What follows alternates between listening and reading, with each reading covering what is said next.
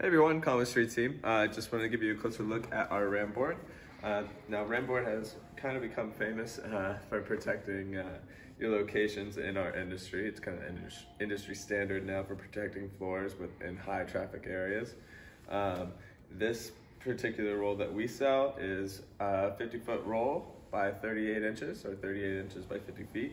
Um, so yeah, get one for your next location shoot.